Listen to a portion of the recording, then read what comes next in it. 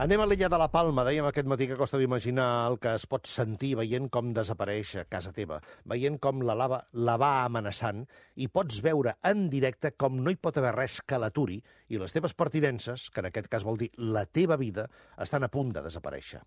Aquí en directe, Carmen Linares, que és en aquest moment a l'illa, coordinant l'assistència psicològica dels veïns. Carmen, què tal? Buenos días.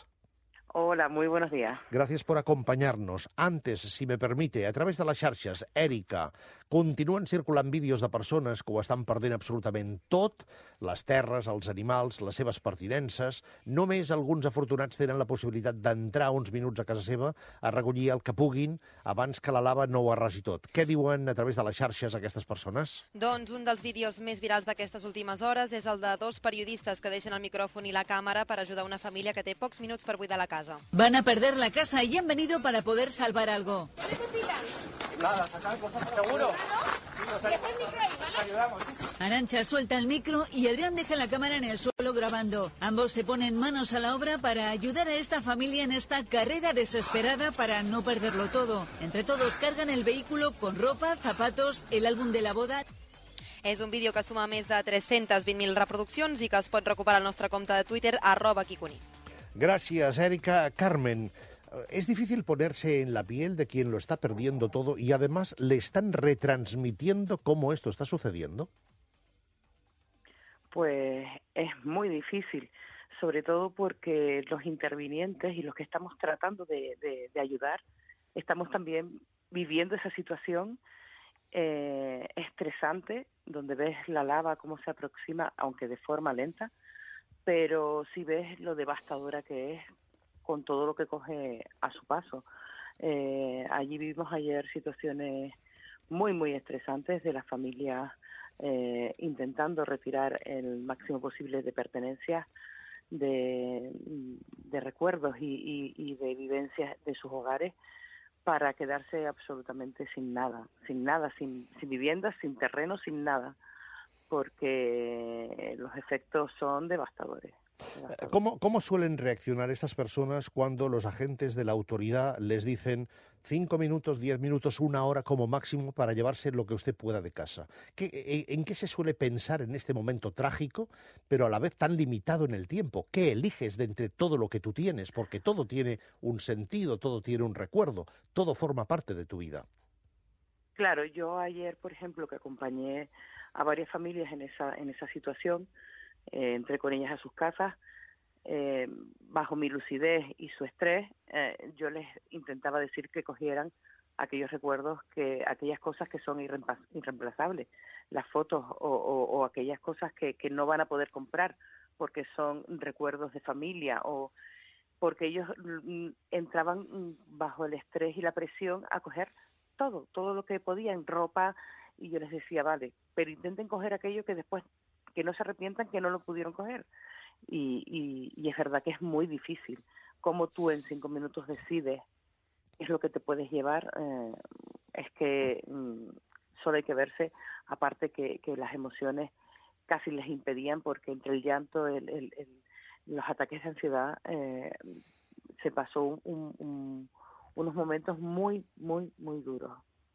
Eh, hoy en el país hay una entrevista a dos personas mayores de 80 años que han bebido ya eh, la erosión por tercera vez, están viviendo, del volcán en La Palma. Uno de ellos dice, si tienes una edad, Aquí al final todos los volcanes te parecen iguales. Es la relativización que otorga la edad y también en este caso la experiencia. Pero para quien lo vive por primera vez, eso tiene que ser eh, muy distinto. Por otra parte, esas personas saben que seguramente, y lo pueden saber ahora, aunque les dieran la autorización, construyeron sus casas allí donde había un riesgo evidente, porque la naturaleza todo lo acaba reclamando. ¿Cómo se les dice, si es que se les puede decir en este momento, a esas personas que el riesgo siempre estuvo latente, aunque hubieran creído que nunca les afectará? Bueno, es que aquí en Canarias sabemos que el riesgo es, o sea, nosotros no nos planteamos nunca eh, que, construimos sobre, somos islas volcánicas. El riesgo está aquí evidente para todos los que hemos nacido aquí y construimos aquí. Pero no por eso eh, dejamos de, de, hacerlo, ¿no? Vivimos con ello y, y, y, yo creo que las personas en ese momento no se plantean, porque mm, yo creo que ningún canario se plantea por qué construir Canarias si es una isla volcánica. Eh, las personas lo que se plantean es la, la en ese momento es el impacto.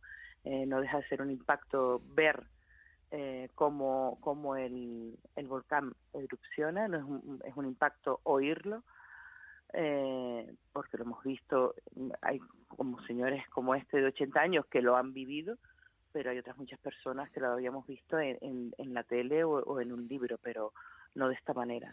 Entonces, eh, el impacto ahí no es casi por las, por las características de la tragedia, el impacto es porque lo has perdido todo. El impacto es porque estás en un proceso de duelo brutal donde eh, estás experimentando desde la negación la ira, la rabia, por, por haberlo perdido todo, no porque sea un volcán quien se lo lleve.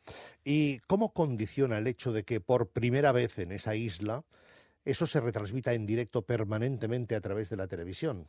Las personas afectadas mayoritariamente parece que están divididas entre las que no pueden evitar mirar a ver si van a tener o no van a tener suerte porque el río de lava, la colada de lava, eh, puede que al final se desvíe y no les afecte, como ha pasado en algunas casas, o quienes dicen no quiero ver nada de lo que está pasando, lo doy todo por perdido.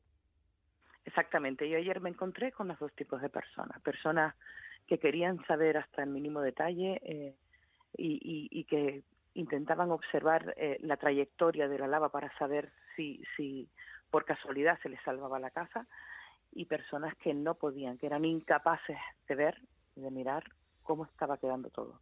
Les provocaba demasiado dolor en el momento y, y, y se sentían incapaces de asumir que allí donde ahora había lava, debajo habían viviendas, había vida y había toda una historia de vida detrás, ¿no? Detrás de esa ceniza que, que, que, que hay hoy hay muchísimas historias de vida y, y, y muchos recuerdos que, que ha sepultado el, el, volcán. Y mucho esfuerzo y, y, sacrificio. Hay mucha gente que llevaba toda una vida trabajando para tener todo eso y se han quedado absolutamente sin nada.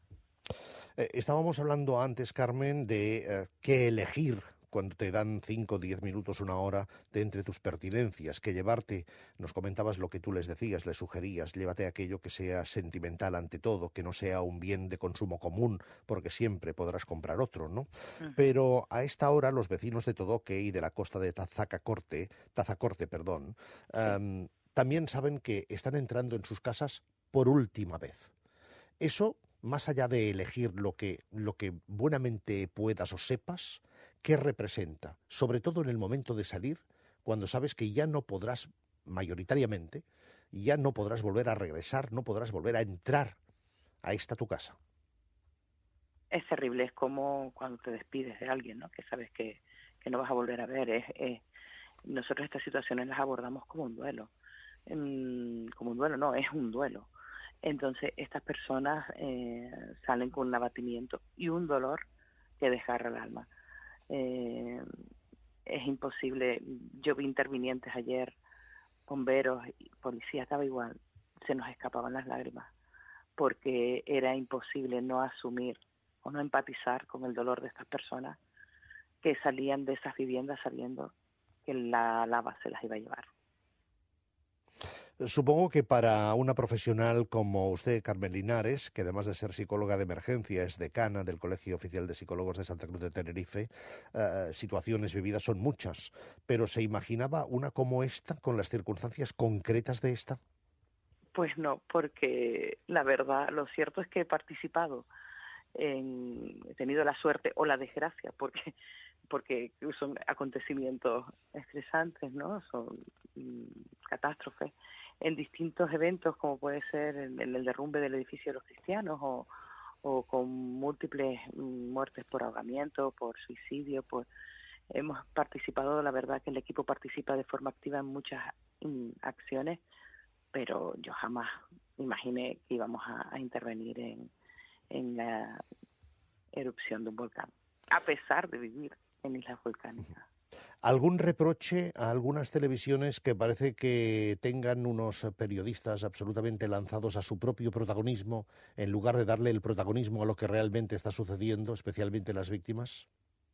Desgraciadamente en ocasiones buscan el morbo más que la noticia y, y de eso los psicólogos de emergencia si estamos por, por las cercanías tratamos de evitarlo y de explicarles que, que no que hay momentos donde no, no se puede, no podemos permitir que se grabe a las personas eh, en un estado de vulnerabilidad porque no lo, no encontramos ético. También hay periodistas que, bueno, yo entiendo que hacen su labor y que tienen que buscar la noticia y el momento, pero que intentaban abordar a, los dirigentes, a los alcaldes que estaban intentando gestionar la emergencia desbordados y buscaban con el micro constantemente cuando ellos mm, en ese momento están pensando en, en, cómo poder ayudar a gestionar uh, una barbaridad tan grande. Carmen, gracias por atender esta llamada, gracias por este comentario y por esta reflexión. Es que el algoritmo informático nos va a cortar si no corto yo antes. Sí, muy bien. Un abrazo y mucha suerte. Muchísimas Ánimo. gracias. Gracias. Carmen Linares, degana del Col·legi Oficial de Psicòlegs de Tenerife. Aquí, amb Josep Cuní.